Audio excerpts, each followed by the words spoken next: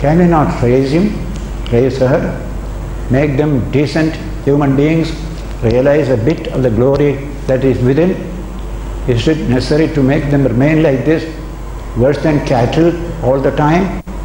This kind of thought was the subject of meditation, and while thinking of this, tears pouring from his eyes with tremendous feeling, a heart of a Buddha you could see in Swamiji on that rock.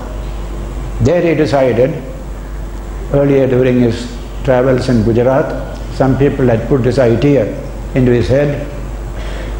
Here nobody will appreciate you in this country. You are one of the wandering sadhus, that is all. Go to the West. They will appreciate your intellect, your wisdom, your knowledge, your experience. That idea had been put into his head. In the course of wandering up to Kanyakumari, that took root, that took a specific form. That there is a Parliament of Religions in Chicago, September 11, 1893. You can be a representative of Hinduism there. But our people are so impractical, we did not send him as a delegate. You must have an association, pass a resolution, we send so and so as a delegate of Hinduism to America. We never did any such thing. Swamiji also never did any such thing. He just, when Romain Rolland writes beautifully, he said he knew I have only to go to win. I did not worry further. That feeling was there. Holy Mother also wrote a letter to him that all the show going on there is for you. You go, I bless you. Sharada Devi, that blessing. Ramakrishna also gave a vision to him at that time. So, Madras, young people gathered together, arrangements were made. Finally, he goes to America from Bombay. That's the second time coming to Bombay. Maharaja of Khetri of Rajasthan also helped him. And so, May 31st, 1893, he left Bombay for the West, ostensibly to attend the Parliament of Religions. But when he reached there, first Vancouver there, railway, from there railway to Chicago, he found Parliament is still two months later, sometime in September. How to live here? Where is the money? Every day money flows out. Costly life there. He was worried. Then something happened. That something has happened many times in Swamiji's life. As if today when you look at it, you feel as if some divine drama is taking place, each person being given a part to play in the drama. That you can see in many cases. One such case is coming now. He said, somebody said, go to Boston. It is cheaper to live there these two months. So he said, okay, we shall go there. He also learned that he is not a delegate, so you cannot get admission to parliament. That also he heard. Everything was chilling in a foreign country. Under the British rule we were, there is no free government of India to help, all alone. Only his intellect, his spirituality, his courage, that alone was there to help him and the blessing of Sri Ramakrishna. So he traveled by train to Boston. He was a professor in the train. He was the professor of Greek in Harvard University, Professor Wright. He took interest in him, found a wonderful scholar. So they talked all the way. He said, You be my guest in Boston. All the better. I have no place to go. So he became a guest there. Talks went on. He was so impressed by Swamiji's brilliance, broad views. He asked him, Why don't you represent Hinduism as the Parliament of Religions? I do want to represent, but they said, I have no credentials. I have no credentials. Swamiji said. Then Professor Wright made a famous remark.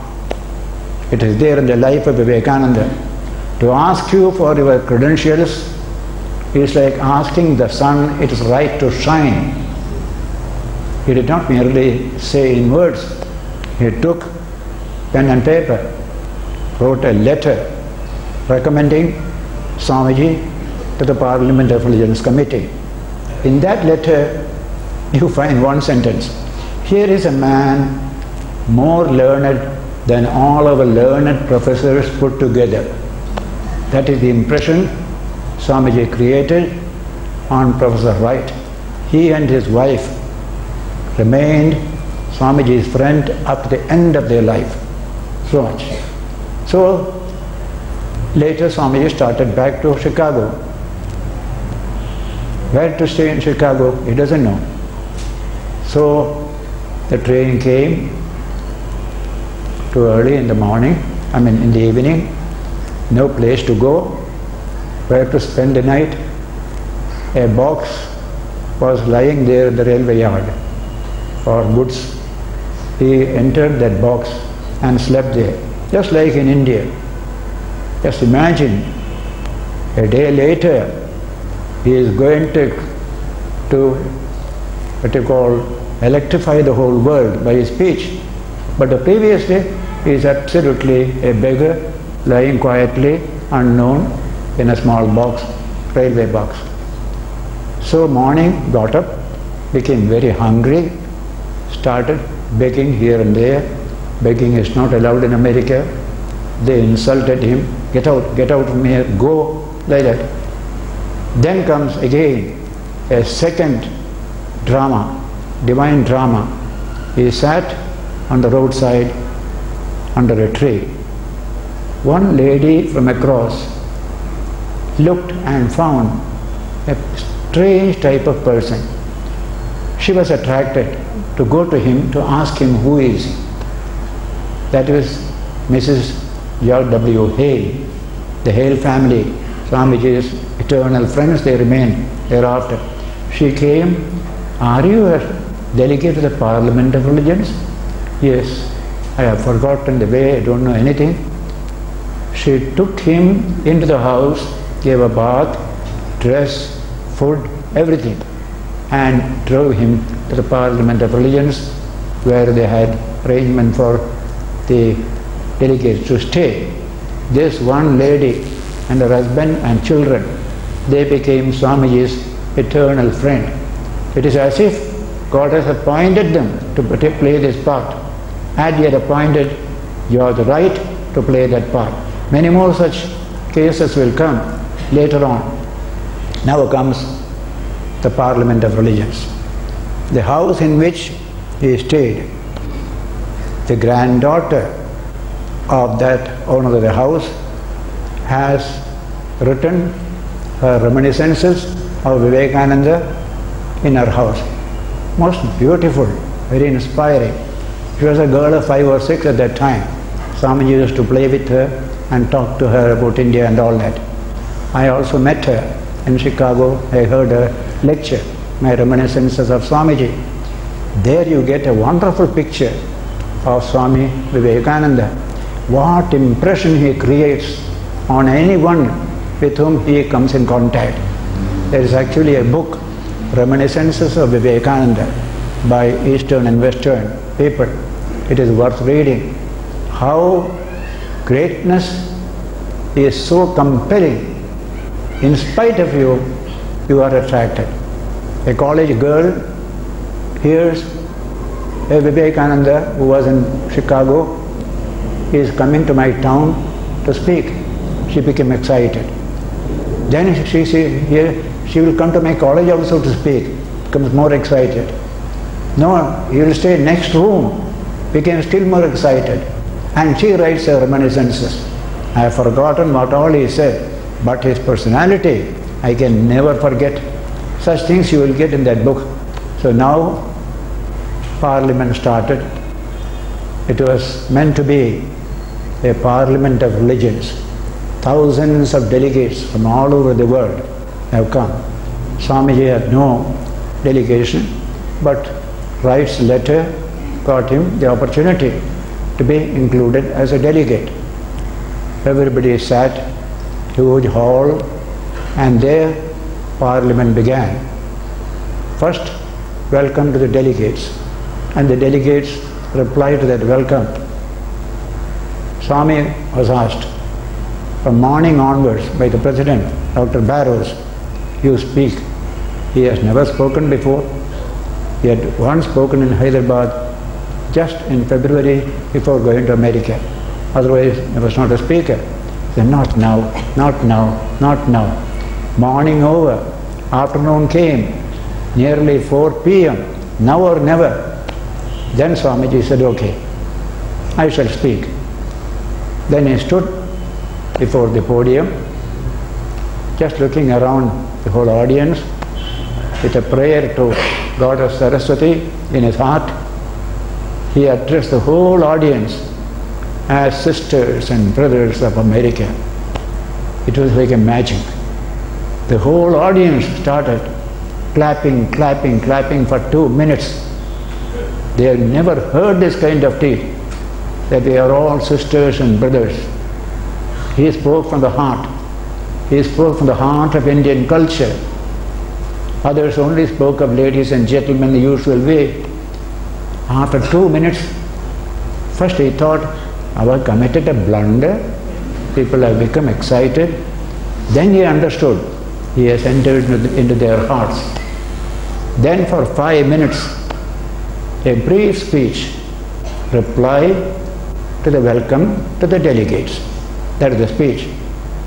Every child in India must memorize that speech. Just a para. Sisters and brothers of America, it fills my heart with joy unspeakable to respond to the welcome that is given to us. I come from a country which has taught the world tolerance and universal acceptance. We have in our bosom all religions, early Christians, Parsis, all who came as refugees, India welcomed them. That is the religion to which I belong. I am representing that here. Then he quoted the Gita sloka. Ye yatha mam prabhadyante from through whatever paths men come unto me, I receive them through those very paths. And in the end he said, there is so much persecution, intolerance, violence in the name of religion. But I am hoping that the bell that tolled in honor of this convention this morning shall be the death knell of all such persecution in the name of religion. Let us hope so. That is the first lecture. That was enough.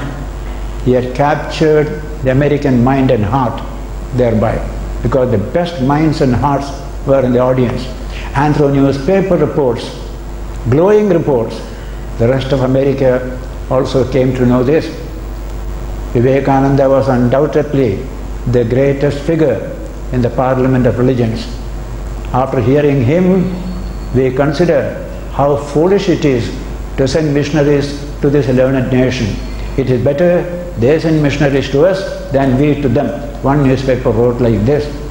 All the papers were of this nature, full of praise, but the bigoted Christian missionaries, they never liked it. They tried to blacken him all through. Throughout his four years life in America, even later coming to India, this blackening process continued. Today's Christians are ashamed of it. But at that time, such fanaticism was there, such narrowness was there. India is only a land of heathens. There is absolutely no culture. That is how they taught the American people that Hindu women throw their children to feed the crocodiles in the Ganges. Such books are written for children's education in American schools. You can see them in some of the recent books you will find. So Swamiji showed India in a new light. This is the great country. Then he read a paper on Hinduism. Another day he spoke on Buddhism. So many times he was called upon to speak. And one particular event is when one speaker is speaking, rather prosaic audience begins to leave. then immediately the president will get up. At the end, Vivekananda will speak a few words, and all will sit down. And the papers wrote. The chairman knew how to keep the best audience together by mentioning Vivekananda's name, that is all. So, from 11 September to 27 September, series of sessions, he spoke. All of them you get the complete works of the Vivekananda, volume 1, the beginning itself, Chicago addresses. One paper on Hinduism, the profoundest truth that he uttered there, which fell like a bombshell in the Christian world in America at the time, was quoting from Shvetashvatara Upanishad, addressing all humanity as children of immortality, not children of sin. It is a sin to call a man so. It's a standing libel on human nature. Call up the divine that is within. This is the way India presents the nature of the human being. In the West they are taught you are all born sinners. The only way is to believe that Jesus' blood will save you. That is the sum and substance of that religion. And this is the first time they were hearing this great message from the Upanishads that I am quoting that famous shloka Shunvantu Vishve Amritasya Putraha Aye Dhamani Divyani Tastuhu Vedahametam Purusham Mahantam Adityavarnam तमसपरस्ता तमेव विदिवा अलिमृत्युमेति नान्य पंथ विद्यते अयनाय. Hear me ye children of immortality all over the world the message is not confined to India or to Hindu विश्व शुण्वंतु at the whole world listen I have a great message to convey to you even to the gods and angels in heaven let them also listen. That is the first sentence. Where from you got this message? From books? From hearsay? No. Vedahametam. I have known it. I have realized it. Vedahametam. What is the truth? Purusham Mahantam. The infinite man behind the finite man. Physically we look finite, limited, truncated, but within us is an infinite dimension. The infinite Atman shines in every one of us. That is the great teaching of Vedanta. So, Purusham Mahantam, Aditya Varnam, luminous like the sun, Tamasat Parastat, beyond all darkness and delusion. And the Upanishad did not stop there. Believe me that you have the divine within, then you will be saved. Upanishad did not say. Try to realize it for yourself. Believing in somebody else is not going to save you. So tameva viditva atimurtimeti nanya pantha vidyate ayanaya. Realizing this truth hidden within you, then alone you can save yourself from death and delusion. There is no other way. There is no other way. Nanya pantha. No other way. No other way. Realize this truth. Swamiji spoke this language. It was like a bombshell on that audience. The first Vedantic bombshell, I call it. Creating thinking. What is this? Today's science speaks of human uniqueness. Sir Julian Huxley, biologist, has written a book called Human Uniqueness, Uniqueness of Man. Man is unique in more ways than one, he has said there. At that time, it was not there. Man is a sinner, absolutely down and out. That's all. Only believe in a particular dogma, then you will be saved. The whole thing was turned upside down. Everybody wants to hear this message. America itself is a land of freedom. Americans believe in themselves. They don't believe they are sinners. Fortunately, they don't believe. Therefore, they could develop their nation. So, this message was carried all over America, rest of the world. Sometime later, it came to India also. This gave the opportunity to Swamiji to enter into the heart and mind of the American people. Invitations came from various towns and cities. Like Chicago, the second city in which a tremendous effort was made was Detroit, where these bigoted missionaries tried to spoil Swamiji's name, make people not to come, but thousands came. Not only so, the governor of Michigan gave a reception to Swamiji. All distinguished people were there. And Detroit is also famous that it gave two devotees to Vedanta to Swamiji. One is Sister Christine, the other is the second one, well, close friends. Christine later on came to India, worked in Calcutta for women, etc., etc. As a later story. So that is the Swamiji's perception. Town after town, town after town, he went to deliver this message of Vedanta. Originally he thought he could raise funds to work for India's uplift. Later on he found that is no use. Let me give something to these people. They are hungry for it. They want to hear this wonderful message of Vedanta, so full of strength and fearlessness, faith in oneself. That's the teaching of Vedanta. We are all one. We are only physically separate. Spiritually, we are all one. So throughout America, these things went on. He visited England, a special invitation from there. So many lectures were delivered in England. And a second visit also to England, he went, returned back to America. In England, he got two precious human beings as upholders of Vedanta. One is Mr. and Mrs. Sevier. He was captain in the army, retired. He was in search of truth. He attended Vivekananda's one lecture, crowded lecture. After the lecture, both of them came out.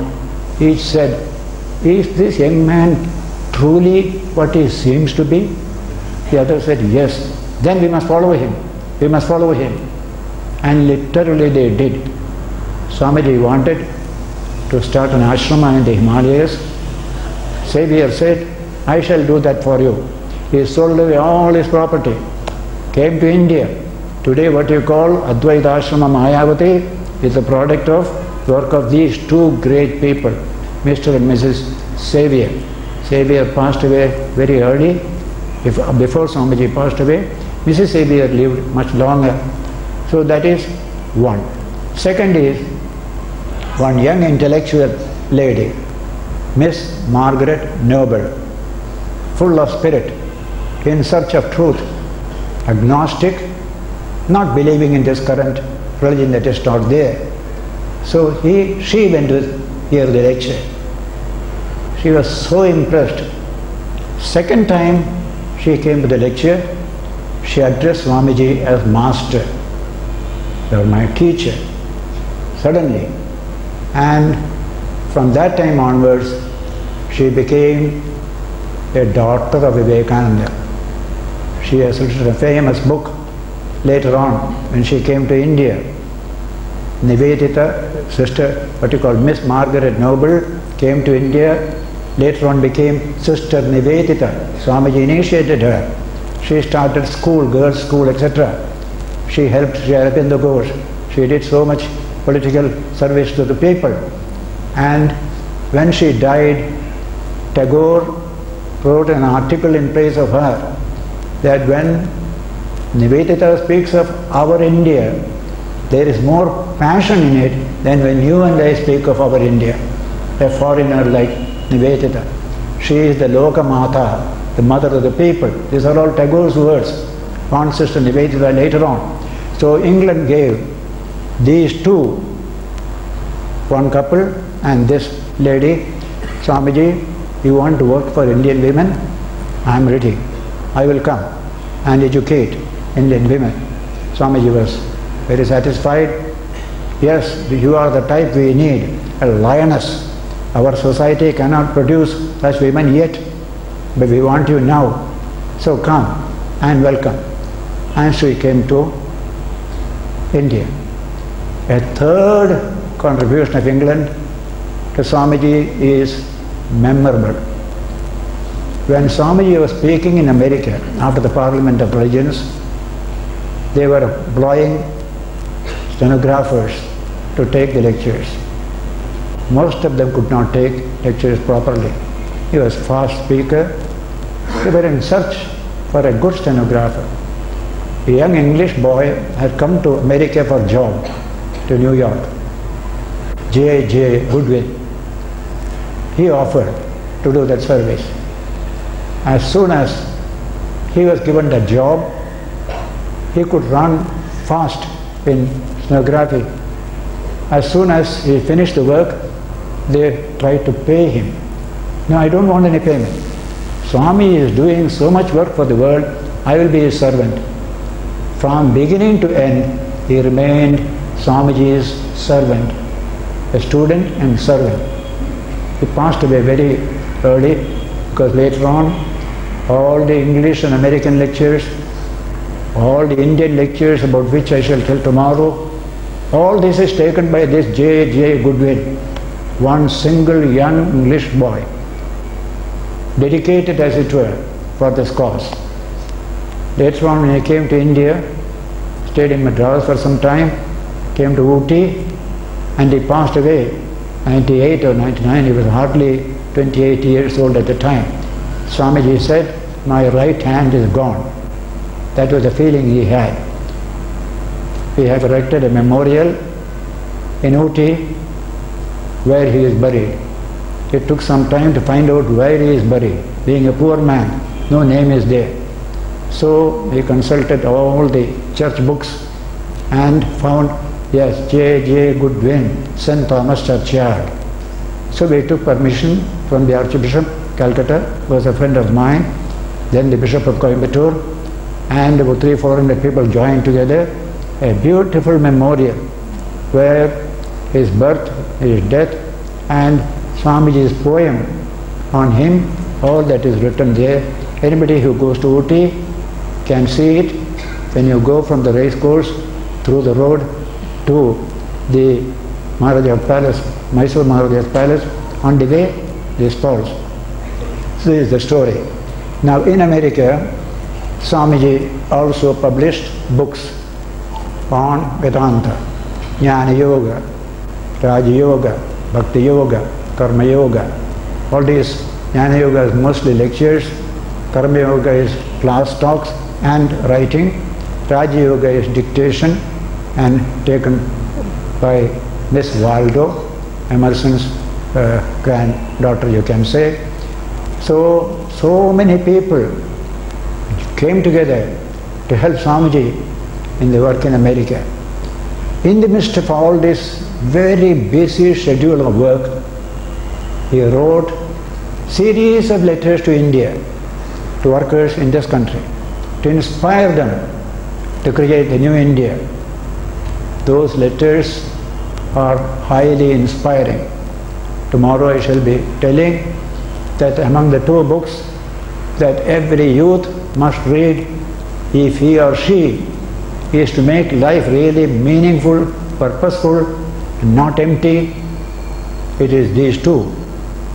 Lectures from Colombo to Almora, that is lectures in India, and the other is letters of Vivekananda, especially from 1893 onwards, up to 1893, ordinary letters.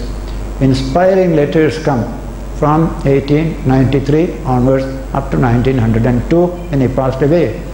Now these are the two books that created patriots who joined to fight for freedom.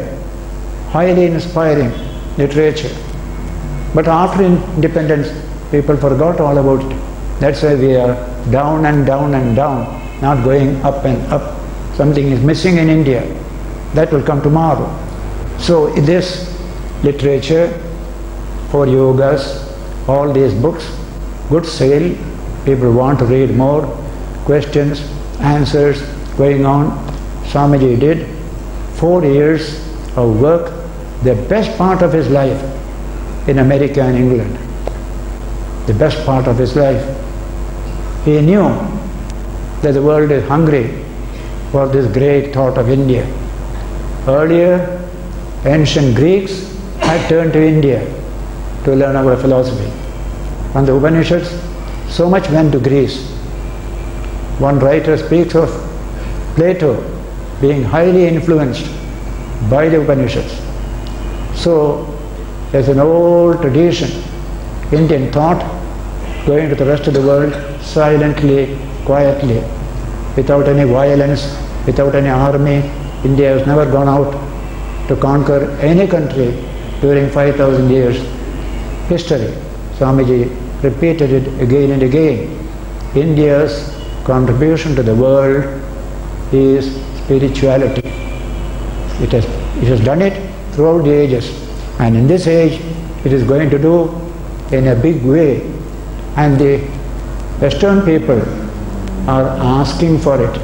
They are not thrusting it on them. This is the only message for which India doesn't spend a pie to spread around the world. The receivers pay for it. What must be the nature of that message? Just imagine, in any other religion to convert one person means 20,000 rupees to purchase his soul. But not so Vedanta. I have traveled 15 years round the world. All they paid for it.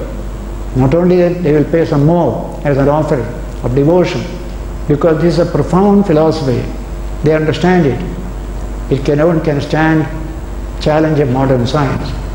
And so scientists also like this philosophy, that teaching of the infinite nature of man in one single sentence, Tattvamasi, Tattvamasi. You are that, you are that. You are not this truncated physical frame. You are that infinite one. That is Chandogya Upanishad. How many scientists quote this wonderful line, Tattvamasi, Tattvamasi. You are that, you are that. Today, all over the world, South America, North America, and now the whole of Russia is simply mad to get a little bit of this literature, even a photo of Ramakrishna or Vivekananda, they are not able to get it easily. And most of the books are in English, a few in French, some few in German. Very old times they are published in Russian also. So now there is a real search. Swamiji, when he was in England, he met two great professors, Professor Max Muller, one who popularized Rig in the English translation. He wrote a book on Ramakrishna. First an article, Ramakrishna, a real Mahatma.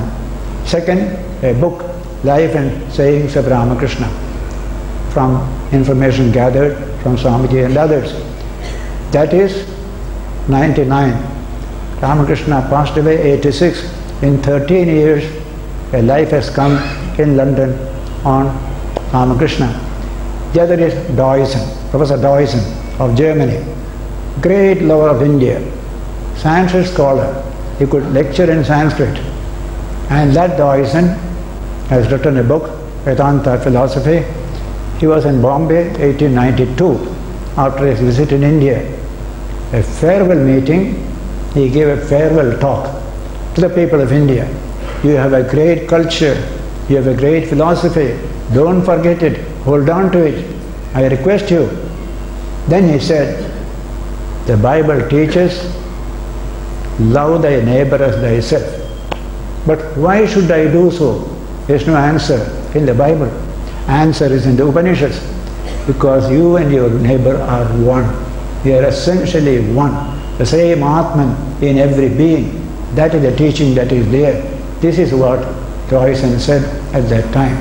Now here you have the wonderful impression made on a German professor and English German professor in England.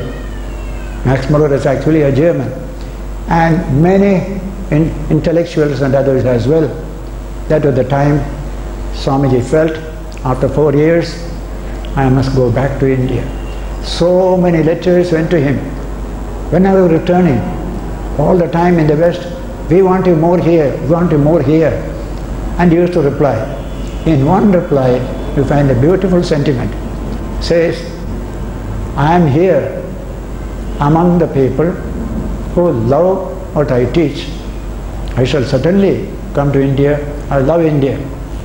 But what is India, England or America to us? We who believe that you call man, but actually he is God in disguise. I serve him here or there. That's what I am doing here. Like that he wrote. Finally, he decided it is time to come to India. So 1897, January, he left England to come to India. And then the drama that took place in India at that time has been so beautifully described by Monsieur Romain Rolland when he read about Vivekananda and Ramakrishna, he was fascinated. Tagore also met him at that time. So when he found him interested in India, Tagore told him, if you want to understand India, study Vivekananda. In him, everything is positive, nothing is negative. That inspired him. That brought him to study the literature, all in English. He doesn't know English. He didn't know. His sister knew English. Sister will translate into French. And then he wrote that book. And the best critical, appreciative books on Ramakrishna Vivekananda you get in these two volumes Life of Ramakrishna, Life of Vivekananda. That is the later development. But later on, one more book has come from Isherwood, the English writer in America. He has also written Ramakrishna, a great phenomenon. So Western writers are writing. Now many books are coming now. We are now concerned that this Vedanta, this Ramakrishna's message, is meant for the whole world, not for India only. But India must be strong and steady to be able to deliver that message. How to reshape that India? That is the work Swamiji did on his return from his four years' work in the West, landing at Colombo in January 1897. That subject we shall take up tomorrow. It is a fascinating subject, inspiring subject. How many people in India are missing reading this literature? Something great will come to them. All that is petty and small will change. A bigger man will come out of the smaller man. Today we have so many petty, small men and women. I call it, we are in a big country, but small people. Small people in a big country, full of pettiness, full of violence. All these things are there. Those things will change when they get education in Vivekananda literature. His words are great music. Let me now alone quote Romain Rolland's remark about Vivekananda literature. Vivekananda's words are great music. They are like Beethoven's symphonies. They are like the stirring rhythms of the march of Handel choruses. I cannot touch these words of Vivekananda separated in books of 30 years distance without getting a thrill through my body as an electric shock. And what shocks and transports must have been produced on the people who actually heard them. This is what a foreigner writes about Vivekananda literature.